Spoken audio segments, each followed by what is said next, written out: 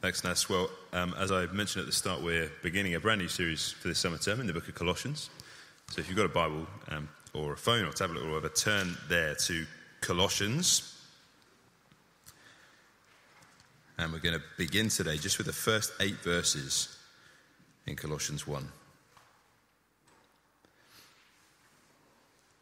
This is the living word of God. Paul, an apostle of Christ Jesus, by the will of God, and Timothy, our brother, to God's holy people in Colossae, the faithful brothers and sisters in Christ, grace and peace to you from God our Father. We always thank God, the Father of our Lord Jesus Christ, when we pray for you, because we have heard of your faith in Christ Jesus and of the love you have for all God's people the faith and love that spring from the hope stored up for you in heaven, and about which you've already heard in the true message of the gospel that has come to you. In the same way, the gospel is bearing fruit and growing throughout the whole world, just as it has been doing among you since the day you heard it and truly understood God's grace. You learned it from Epaphras, our dear fellow servant, who is a faithful minister of Christ on our behalf and who also told us of your love in the Spirit.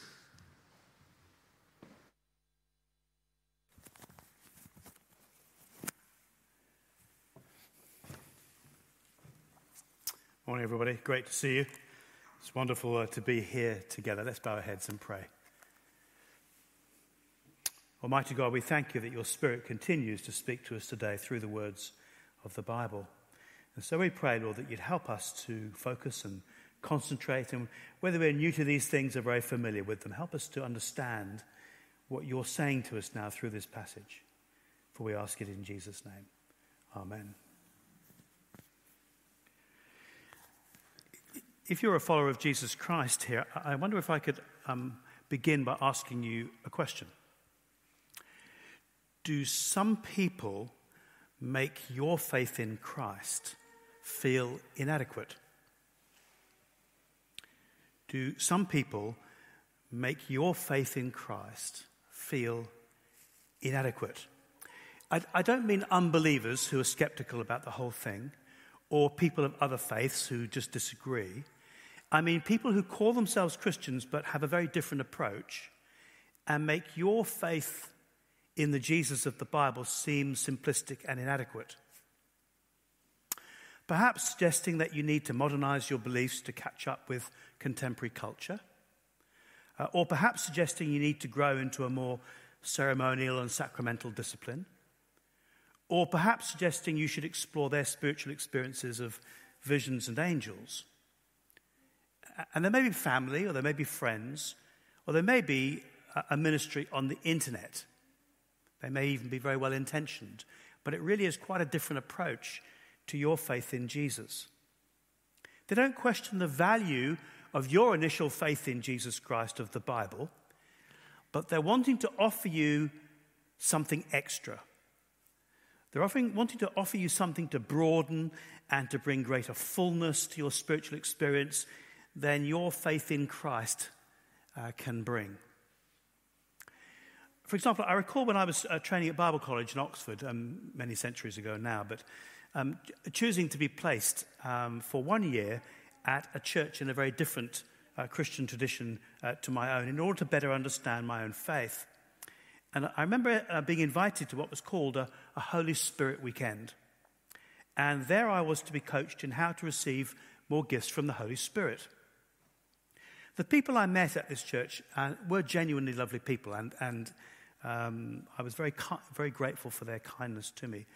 But as I stood with a crowd in prayer, with my hands open and um, opening my heart to God to receive more spiritual gifts, which of course are wonderful things to receive from God, but I realized that I was really being given the message that my simple faith in Christ really wasn't enough, and I really needed to learn uh, from those who were hosting um, the weekend to unlock the fullness of, of uh, what God wanted me to experience because what I had through faith in Christ wasn't enough, and they were just longing for me to learn their way.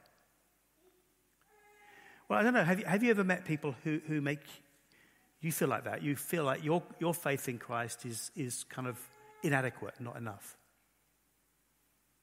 I ask that because um, we know from this New Testament book of Colossians, which was a letter to a church in a town called Colossae in what is now Western Turkey, uh, from the great apostle Paul in about 60 AD, that some teachers had arrived in the town of Colossae who were making the Christians there feel that they needed more than faith in Christ. They needed extra that the false teachers could provide them to enjoy the fullness of God's salvation. So let's begin the, the, the sermons um, in Colossians considering uh, the introduction, which is an opportunity to try and get inside what was happening in Colossae, because I think it's quite familiar to us uh, today. So l- look at verse 1. Uh, Paul, we read, an apostle of Christ Jesus by the will of God, and Timothy, our brother. So, Paul, an apostle, verse 1, is in prison hearing from Epaphras. Um, and we know about Epaphras from the end of the letter. Now, here in verse 1, we find that, as in other letters from Paul, where there are false teachers around who might mislead the Christians, Paul is a bit more formal like this you know, an apostle of Christ Jesus by the will of God, is basically not just a warm hug, he's handing out his business card. He's saying, I'm an apostle by the will of God. Um, apostle means messenger. In other words, he was one of Christ's foundational teachers, authorized and empowered by Jesus personally to speak and write for him with authority. He says, by the will of God. That is not just like the false teachers self proclaimed or, or very popular, but he's saying, I was appointed by God. And he's writing with his younger colleague Timothy, who interestingly would soon be appointed to lead the nearby church in Ephesus, from which the church in Colossae presumably grew. In other words, he's saying that the Colossians can trust Paul and they can quote Paul in their debates with the false teachers because he is speaking for God. And we know from the end of the letter that Paul is writing from prison. He says, Remember my chains, uh, probably in Rome. And although he's never met the Colossians himself, uh, we read that their founding pastor, who's called Epaphras, who's mentioned here in our reading in verse 7, has come to see Paul in prison with another member of the church, Onesimus, in other words, to take counsel with Paul, to get guidance from Paul from what to do about the situation that's emerging in Colossae with these visiting teachers who are bringing a very different approach to his simple approach of teaching Christ from the Bible. Verse 2 he says, To God's holy people in Colossae, the faithful brothers and sisters in Christ. Paul is affirming his Christian readers here with some beautiful descriptions. He recognizes they are God's holy people. Because if we are trusting in Jesus, we are God's holy people. That is, we are set apart and special to God. We are his special, purified people. And he calls them faithful brothers and sisters in Christ. In other words, God's beloved children through faith in Christ. Because if we're trusting in Jesus, that's what we are. We, we are God's children. And we're family, we're brothers and sisters through our faith in Jesus, the Son of God. Notice he calls them faithful. Because clearly he's convinced by what he's heard from Epaphras. Remember, he's never met them. But Epaphras, their founding pastor, has come to tell him all about them. And as he's listened to Epaphras describing their life in Colossae, he realizes that they're wonderfully loyal to Christ. In fact, in chapter 2, verse 5, he will say, I delight to see how disciplined you are and how firm your faith in Christ is. So he says, You're clearly faithful believers.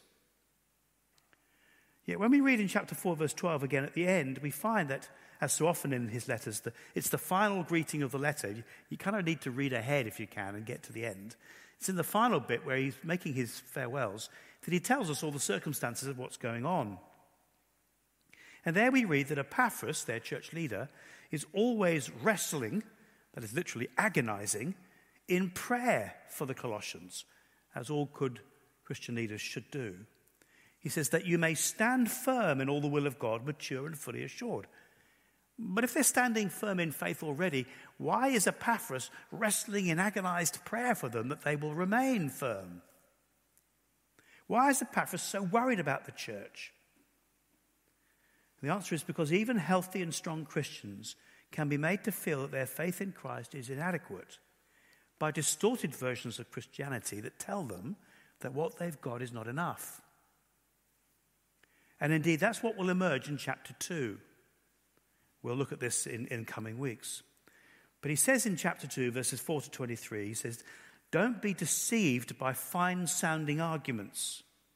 He goes on to say, Don't be captured by their human ideology or condemned by their religious disciplines or disqualified by their spiritual experiences. It's plain that some very fine sounding but misguided and potentially dangerous false teachers had arrived in Colossae. And so Paul will say in chapter 2, verse 8 See to it no one takes you captive through hollow and deceptive philosophy which depends on human tradition. In other words, those who are adapting their faith to contemporary human ideology, uh, which is often called liberal teaching. And then in chapter 2, verse 16, he says, Don't let anyone judge you by what you eat and drink or with regard to a religious festival. In other words, don't let yourself feel condemned for a lack of ceremonial discipline and sacramental life. Uh, for example, you may find that in some, in some Anglo Catholic traditions uh, at the moment. Or in chapter 2, verse 18, he says, Don't let anyone who delights in false humility and the worship of angels disqualify you. Such a person goes into great detail about what they have seen. In other words, he's saying, don't let yourself feel disqualified by other people's magnificent experiences of angels and visions. God may well have blessed them, but don't allow yourself to feel inadequate as if faith in Jesus is not enough. Uh, you find that in some uh, versions of, of charismatic um, tradition in, in our country at the moment. Instead, Paul's letter celebrates what we have in Jesus Christ. He will celebrate in this letter the supremacy and the sufficiency, the all round wonderfulness of Jesus. And we'll say, if we've got Christ, then whatever other people's experiences are, we have the fullness of God in Christ. In fact, Paul's whole letter is about that. He wants to tell the Colossians in this letter, and we get to read uh, over here his letter. He wants to tell us how magnificent Christ is. He's so magnificent. When you get how wonderful Jesus is, you'll realize you don't need anything else but Him. He is everything that we need. And so, just as we sort of begin this, this series, it's worth you knowing that chapter 2, verse 6 and 7 is recognized as the kind of central message of the letter. There we read Paul saying this Just as you received Christ Jesus as Lord, that's the gospel Continue to live your lives in Him, rooted and built up in Him, strengthened in the faith as you were taught, and overflowing with thankfulness. In other words, the more you discover how wonderful Jesus Christ is, you will overflow with thankfulness. And you'll be less prone to feel inadequate by what everybody else is going on about in their lives. Now, I'm no gardener, but even I know that when you plant a young tree in good soil, the worst thing you can do is to keep uprooting it and moving it. And Paul writes this letter to reassure the Colossian Christians that they're like young trees who've been planted in the good soil of the gospel of Jesus Christ.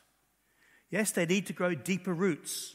They need to grow up taller in Him. They need to grow stronger in Jesus, full of thankfulness for all that God is in Christ, but not moving away from Christ.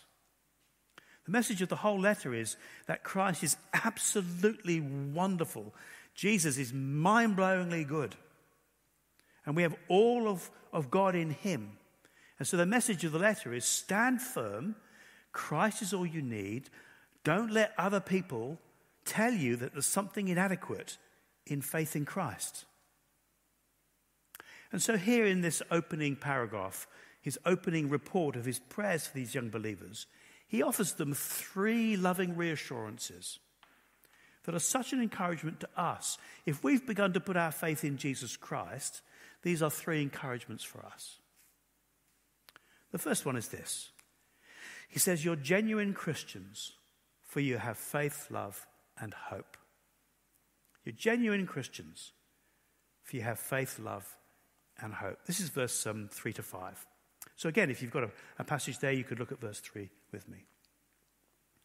We always thank God, the Father of our Lord Jesus Christ, when we pray for you. He says, in other words, we're so grateful to God for his saving work in you. So if you're a Christian here, it's as if Paul is saying, I'm so grateful to God for what he has done in you. Unlike, the false teachers who are very eager to improve you with their ideology, which is perhaps a reminder to us all in a very critical cancel culture, eager to call out the sins of others, to perhaps be a bit less eager to crit- critique other people, improve them with our insights, and perhaps be a bit more eager to thank God for his saving work in other people. When the last time was that we thanked God for the other people in this room. We thanked God for what he's done in other people's lives um, rather than wanting to improve them. But, but then, what are the marks of God's saving work in a person? Is it an expertise in human philosophy, impressive religious disciplines, host of visionary experiences, as the false teachers were claiming? Look at verse 4. We're thankful because we've heard of your faith in Christ Jesus and of the love you have for all God's people, the faith and love that spring from the hope stored up for you in heaven. In other words, Paul looks for a familiar trinity of virtues as evidence of God's saving work in someone's life. Here there are three things to look for in yourself and in others faith, hope, and love. And you get these three mentioned so often in the New Testament Romans 5, 1 Thessalonians 1, 1 Corinthians 13. For as children look like their parents, so real Christians have these characteristic virtues. They're, if you like, they're the birthmarks of God's children faith, love, and hope. First, he says faith in Christ.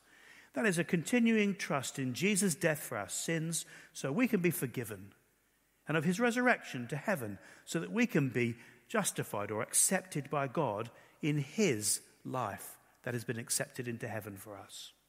Not relying on our own religious performance, not relying on our own ministry, but relying on Jesus. We have a faith in Christ as our Savior. And he says, love for all God's people.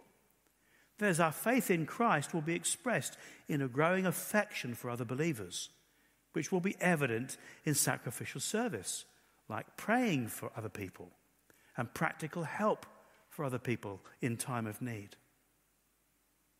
It's worth recognizing as many evangelical leaders are being exposed at the moment, very sadly, for abusive patterns of leadership. That it's not just biblical truth, but also sacrificial love that is evidence of God's work in a person's life. And we need to learn to prize love as highly as truth in our leaders.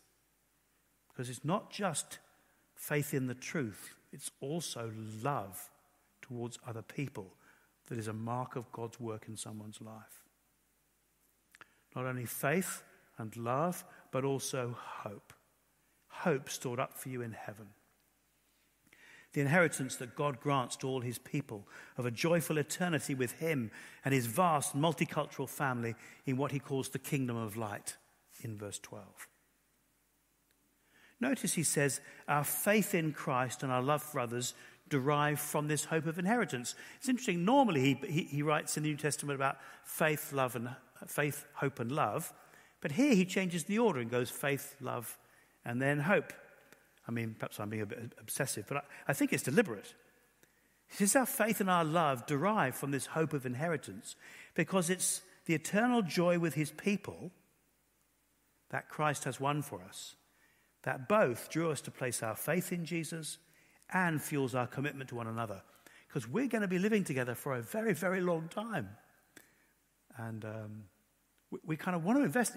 We want to invest in one another because there's eternity together. We're family now. Indeed, Paul emphasizes hope in this letter. Rather than faith or love, as in other letters, Perhaps because he wants his readers who are under pressure to resist the enticing emphasis of the false teachers upon their intellectual and religious experiences, in recognizing, recognizing that the supreme joys of life as a Christian are promised for the future in the new creation. It is wonderful to know Jesus now, but life can still be very, very hard now. Very hard. And the false teachers are promising that everything will be marvelous for you now if you come to their, their approach. And Paul is saying actually, the Christian life is often about waiting and living by hope for the future that is promised to us. Many false versions of Christianity are seductive because they promise spiritual success and satisfaction now.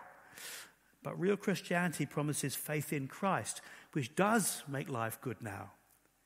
And it does bring the joy of loving other people. But nevertheless, it derives from patient hope that is waiting for a glorious future inheritance in heaven. There's much about being a Christian which is about patiently waiting for the future that's been promised to us. And so it's a bit like the telltale watermarks in a £20 banknote. So, oh no, that's 10. Sorry, that's the wrong one. I've got two in my pocket. Oh, there's another 10. I'm sure I've got a 20 somewhere. It doesn't actually matter. It's always fun watching the pastor get it. Oh, there's another 10. I'm going to change the illustration. It's about the telltale watermarks in a 10 pound note. oh dear. Oh well. So here, have you ever seen shop, shopkeepers sort of do this? You know, maybe it's just me, I look shifty or something, but they kind of, you know, they look at it and they sort of, I don't actually know what they're looking for, but I do, I can see that in, in the, in the 10 pound note, there are all kinds of, sort of telltale details. I mean, it's incredibly detailed. And I don't know, apparently you hold up the light, you can see all sorts of things. I don't know, I don't know what they're looking for, but, but you know what it is? It's, it's to show that the, it's genuine and not monopoly money. Yeah? It's a genuine £10 note. Paul wants to reassure his readers they're genuine Christians. Yet he could hold them up to the light and look at them and see the genuine, telltale watermarks of a real Christian. What are they? They are faith, love, and hope. And so we too can be reassured today, whether or not we have any impressive intellectual ideology, whether we've got any impressive religious disciplines or impressive spiritual experiences to tell other people about, like the false teachers did. They're actually not the marks of a real Christian. The marks of God's saving work in someone's life, in your life and in mine, is faith in Christ love for other Christians, and the hope of inheritance in heaven. Those are the marks of real Christians. And if you've got those three things, or you can see them in other people, what do you do about that? You thank God for them. Thank God for them. Thank God for it in your life. Thank God for it in others. That's the first thing. It says you're genuine Christians. If you have faith, love, and hope. Secondly, he says you're trusting the genuine gospel which is true, fruitful, and about God's grace. You're trusting the genuine gospel. Look at verse, verse 5. He says, And about which you've already heard in the true message of the gospel that has come to you. In the same way, the gospel is bearing fruit and growing throughout the whole world, just as it has been doing amongst you since the day you heard it and truly understood God's grace. Um, if, if you didn't know, the word gospel does mean good news, but it's not any old good news. Um, in the ancient world, it meant a momentous announcement of the birth of an emperor or a great victory in battle. Uh, God's momentous announcement to his world is about his son. And indeed, it's a message that Paul says elsewhere it's the power of God for salvation, this message. But it is a message about Jesus. So there are lots of wonderful things in the Bible about God the Father, God the Holy Spirit, about the church, and so on. But it's not the gospel unless you're talking about Jesus because God's gospel is about God's Son. It's, it's, it's, interesting, it was promised way back in the Old Testament, so way back in Genesis 12, when God promised Abraham a kingdom for the blessing of all nations. Uh, the New Testament says that was the first version of the gospel because it was promising God's kingdom. And then in Isaiah, there are many promises that a great king would come who would be God coming to save his people. So the Old Testament gospel, if you like, is the promise of a kingdom with a king who will come. And then the New Testament, of course, the king arrives and he's Jesus. And if you look at all the passages as I have that talk about what the gospel is, not just take all the good news, but what does the New Testament actually say the gospel is, specifically say it is, is often summarized in the phrase, Jesus is Christ our Lord. That is, Jesus, the crucified Nazarene, is Christ, the promised Savior King, our Lord, the divine and risen ruler of all. And the New Testament emphasizes four things that he did. He came as our King, he died for our sins, he rose to rule, and he will return to judge. And that message that Jesus is Christ our Lord, who came as our King, died for our sins, rose to rule, and will return to judge, brings wonderful things into our life. Brings God's grace, God's life, God's hope, God's righteousness to anyone who will believe it. That is God's gospel. And that's the gospel we want to proclaim at this church and remind one another of. And Paul says particular things about it here to encourage the Colossians. He says, firstly, it's true. This is the truth. Christians are not relying on fantasy, but facts. We're not, we're not relying on stories, but, but history. We're not relying on dreams, but reality. So the Christian faith is sensible reliance upon truth that's given to us in the Bible with evidence. It's not the nonsense of the spiritual mysteries that the false teachers were, were claiming. We're talking about reality. That's what's so wonderful about the Christian faith. It makes sense of, the, of our lives and of the world. But also, he says the gospel is fruitful, the gospel is powerful, it changes people, it saves people, and it bears fruit in the good works of people who are gradually being transformed by God's Spirit, even us, through his word. And therefore, as the, the gospel is fruitful, means that it grows in numbers, that is, more and more people are becoming Christians, and that those who are becoming Christians are becoming more and more like Christ in the fruit of the Spirit, in love and joy and peace and patience and kindness and goodness and faithfulness and gentleness and self control.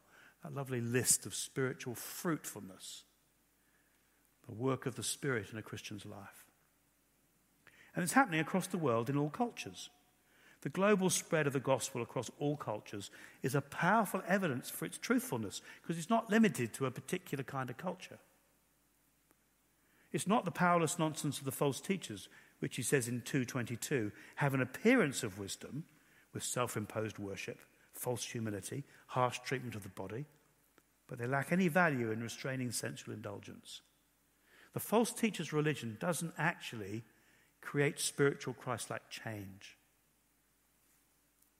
The gospel of God is dynamic in people's lives. And we've seen that. We've seen that people becoming Christians. Even during lockdown, people, new people have become Christians at this church and at other churches across the world. Despite this pandemic, the gospel is continuing to grow all over the world. And he says the gospel is about God's grace. In other words, it's all about what God has done for us, not about what God is doing in us. We're not here to boast about how much is happening in my life. We're here to proclaim what God has done for us in Christ. Christians trust in God's grace and not in our own religious performance. And it's important to understand what do people hear from us as a church and from us as individuals? We are stunningly ordinary, broken, screwed up, ordinary people. But we have an extraordinary Savior who is Jesus Christ.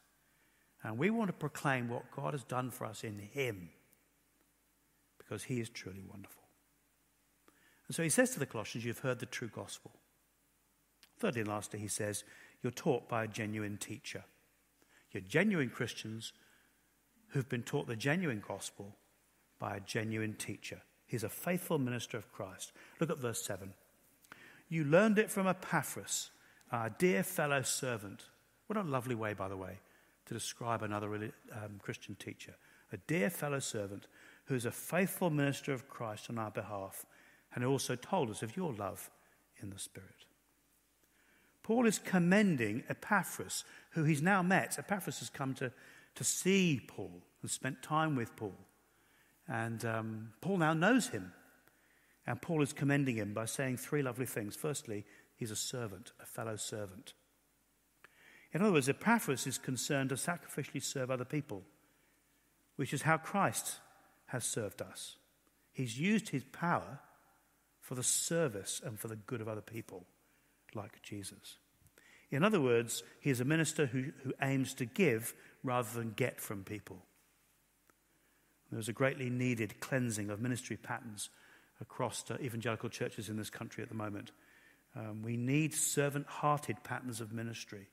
As God has served us in Christ, so real Christian ministers will, about, will be about serving rather than using other people.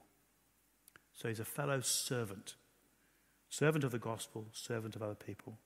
Second, he says, on our behalf. That is, on behalf of the apostles. In other words, he's teaching the apostolic faith that comes from Christ himself in the Bible. He's not just making it up, he's not just following trajectories from the Bible to try and embrace the evolving ideology of current, current cultural life. He's saying, no, he's, he teaches the apostolic faith, the faith that the apostles teach in the Bible. And thirdly, he says he's faithful. He's loyal and committed to God and his word and to the church. He's a faithful minister. And there's nothing higher you can say about someone than they're a faithful minister of Christ. And above all, why is he faithful? Because he taught them Christ. He didn't stand each Sunday tell, boasting about his, his um, intellectual ideology or about his um, religious disciplines or about um, his spiritual visionary experiences, like the false teachers were doing. He taught them Jesus Christ. And I want to say to you that a faithful minister you can trust, whether in this church or in any other church that you go to, is a minister who teaches you Christ from the scriptures. If somebody does that, you can trust them. But don't trust somebody who isn't teaching you Christ from the scriptures. Not teachers commend their own ideology, their own disciplines, their own experiences to gain a following, but people who proclaim Christ because Christ is all you need. You need Christ. And Christ is everything you'll ever need. So look for ministers who teach Christ and listen to them.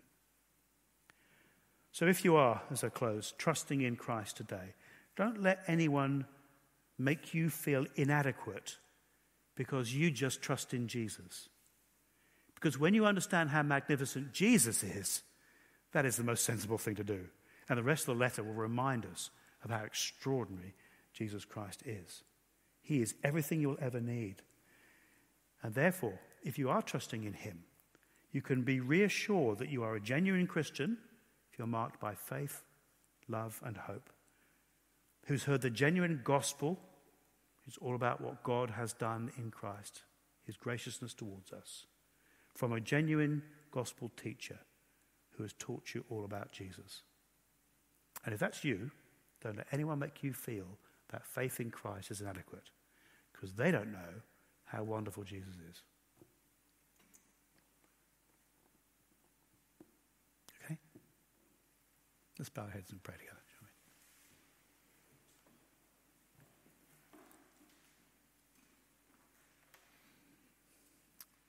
Almighty God, we do want to take a moment, as Paul does here in the letter, to thank you for your work in our lives and in other people. Thank you for those of around us here in this room, for those who are watching online, listening at home. And we thank you for your people everywhere, uh, where you have been at work in them. We thank you for those beautiful marks of your saving work in their lives, of faith and love and hope. We thank you for your work in our lives. And we thank you that you've done that through the real gospel, the gospel that's growing all over the world, gospel that's growing in Tanzania, as we were hearing earlier, gospel that's growing in our lives, the gospel of your grace. But it's all about what you have done for us. It's not about how much we're doing, it's about what you've done for us in Christ.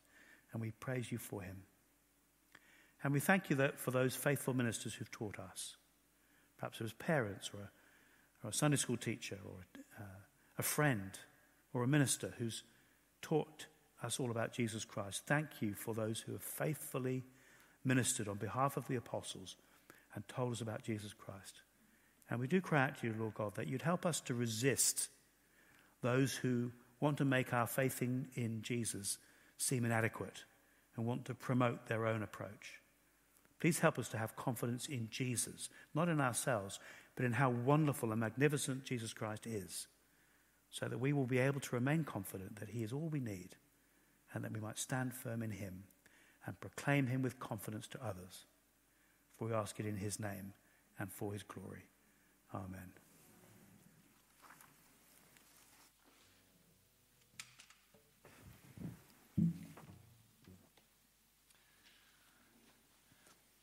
Uh, the wonderful and magnificent Jesus Christ came as our matchless king to rule, crown him with many crowns.